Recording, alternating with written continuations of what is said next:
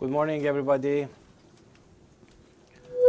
My name is Alireza Jafarzadeh, and I'm the Deputy Director of the Washington office of the National Council of Resistance of Iran. And um, I want to welcome you all to our office here today.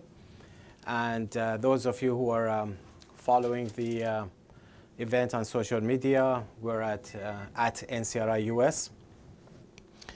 Um, what I want to uh, uh, talk about today, as we um, announced earlier, uh, I want to discuss the, um, the terrorist training camps of the Islamic Revolutionary Guards Corps, known as the IRGC, um, that how they are currently, as we speak, are engaged in and uh, training terrorists and um, destabilizing uh, the region. We're going to go to the details of the information that we have obtained.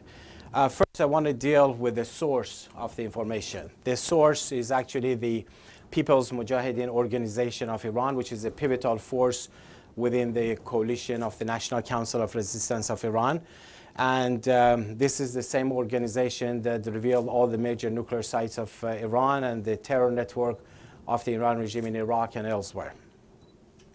Now, their information came from their sources uh, within the Revolutionary Guards, the IRGC, and also within the Quds Force. Are, are marked. Uh, as you can see on this map, um, they are, there's a big concentration of them in the, uh, around the Tehran region. Uh, eight of those uh, uh, terrorist training camps are actually based in uh, Tehran, in the vicinity of Tehran. Um, there are three of them down south in Abadan, Ahvaz, and Qeshm, and um, one in Amol. There's another one, in Loshan, and then in Semnan and Mashhad. Um, so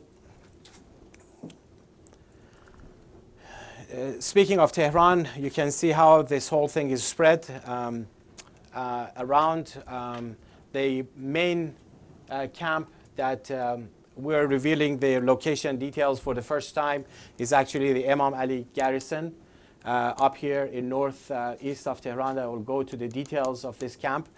And there is also Imam Ali Academy, uh, Telekabin, Shahryar garrison, and then there is uh, Badinde, Chamran, uh, Jalalabad garrison and Pazuki garrison. Um, now, in terms of the um, uh, organization and command of the training directorate, uh, it's um, one of the top uh, veterans of the Quds Force uh, is actually the commander. Um, and they report, uh, he reports directly to Qasem Soleimani.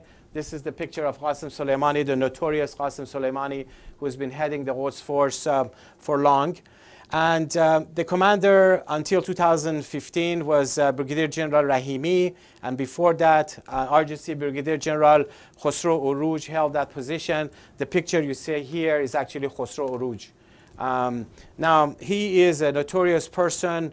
Uh, look at the, um, his track record. Um, he was the commander of the IRGC forces in Lebanon before, um, had close relationship with the Lebanese Hezbollah, uh, and he participated in the 33-day war in Lebanon, and close friend of uh, Emad.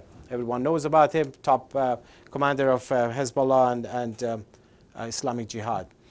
Now, what does this all um, uh, mean? Um, just take a look at the chart, the command structure of the IRGC that we've put up here.